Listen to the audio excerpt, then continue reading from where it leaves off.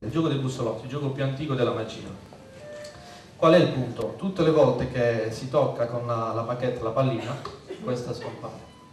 Sono sette i concorrenti del club magico pugliese che con ammirevole spirito di gruppo puntano ad arrivare al congresso San Vincent per provare poi a vincere il campionato italiano di magia. Questo è il primo campionato italiano di magia e stanno rispondendo benissimo i circoli di tutta Italia e siamo felici e onorati di essere qui a Bari perché un neonato circolo che ha solo due anni è riuscito a radunare ben, giovani, ben 10 giovani aspiranti artisti di ottimo livello che in qualche modo stanno proponendo grande magia proprio qui di provenienza dalla Puglia. Questo è l'asso l'insieme della tua carta scelta che io avevo messo lì da parte. Sì. Quindi sei qui, lì, che cosa c'è? Vuoi girare tu stessa e mostrare in camera? 9 di quadri. Grazie.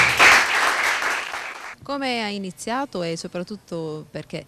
Eh, mi regalarono un Natale la scatola di Silvan, poi ci sono stati una serie di eventi a catena che mi hanno portato qua oggi. Stefano è già vincitore dell'edizione 2009 del Trofeo Arsenio di Roma, una delle più importanti manifestazioni magiche in Italia. Sono una quarantina gli aspiranti maghi pugliesi iscritti al club presieduto da Roberto Muci e hanno un'età che va dai 10 agli 80 anni. Ospite d'eccezione della selezione barese Walter Rolfo. Famosissimo mm, illusionista e anche detentore del Guinness dei primati che ha fatto uscire 300 conigli da un cilindro, come ha fatto? È stata, li abbiamo liofilizzati tutti e poi abbiamo detto, in realtà 300 conigli detti così non sembrano molti, ma se ci pensate sono quasi 2 kg l'uno, quindi sono 600 kg di coniglio e quasi più di una 500. Perciò è stata una grande magia che abbiamo fatto nel precedente congresso, quindi nell'altra edizione.